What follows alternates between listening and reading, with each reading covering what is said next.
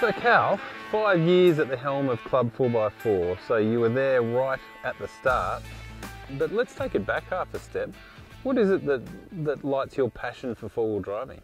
Mate, that's that's a really good question. So there's a couple of things for me. Um, I grew up camping with my family when I was younger, so you know being out in the bush is something that's really natural for me. But also, you know, I've always been a bit of a bit of a gearhead, so anything with the wheels and a motor has been has been a real core passion for me as long as I can remember. So, with two little kids, um, four wheel driving and being out in the bush and camping is really a natural thing for me now. But I, I, mate, I love the freedom. I love driving. I love the freedom. I love the technical nature at times. Um, yeah, so it's um, yeah, it just fits into life really well. And do the girls love it? Mate, they love it. They absolutely love it. So yeah, at home they're sort of confined to four walls and have to stay clean. I think they love the fact that they can go camping and it's a reason for them to be absolutely filthy top and bottom the whole time. Um, but also, you know, being out there and, and seeing the flora and fauna that we're lucky to have in this country. Yeah, no, absolutely. Mm. So Club 4x4 has taken you right around the countryside. What are some of the favourite spots you visited? It's a really hard one, mate. I, I, probably would love to have done more and do more, but I don't think that that's that's just me. I think most four-wheel drivers are in the same boat. But um, look, for me, pretty lucky in Sydney to have a pretty fantastic backyard. So weekenders are really easy for me. So you know, the the mountains are just such an amazing area that you never really get sick of. But in terms of long-range trips, I, I guess one that really stands out for me was this really great camp we had one night on the way to the Big Red Bash at Cordillo Downs. Um, just a magic, magic, magic spot. Um, so yeah, it's one of those areas or, or, one of those nights.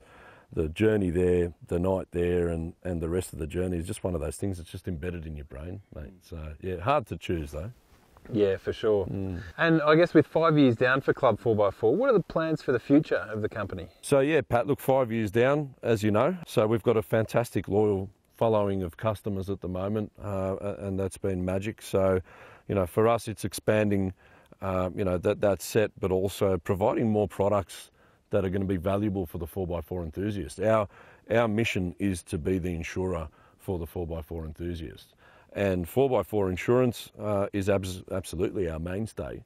But I think what, you know, what we'll definitely be looking to do over the next five years is to complement that with different insurance products uh, and you know, product benefits that you know, make that even better uh, and expand that out. Mm. And I noticed in recent times clubs really pushing a responsible four-wheel driver philosophy. What can you tell me about that? Yeah, look, I think um, we're, we're, in interesting times at the moment, Pat. So with, with the whole COVID thing, um, you know, there, there's evidence that, that people are more willing to get out there and, and enjoy our own countryside with closed borders. And we're absolutely supportive of that. Um, and I think the more people who join our passion and join our hobby or buy a four wheel drive or buy a camper and get out and see our countryside, it's obviously a tremendous benefit to Australia itself.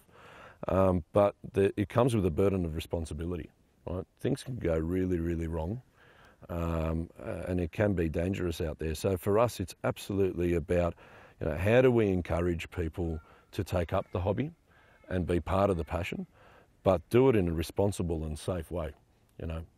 Um, so it's, it's as much people's safety and doing it the right way as it is keeping beautiful places like this open. And that's a real challenge for us. Yeah, okay, yeah.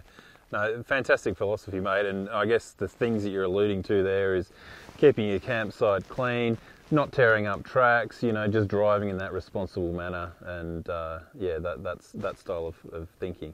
Yeah, absolutely, mate. And look, um, it's educating too, Pat. You know, there's, you know, there's there's a whole raft of different types of four-wheel drivers out there. At the end of the day, we all have the same passion. It's about it's the passion for the vehicle and the passion for where that vehicle gets us. So, you know, I think education is a large part of what the whole industry needs to be doing, and, and certainly from Club 4x4's perspective, um, it's about driving that responsibility uh, in every facet of, of, of, the hobby and the passion.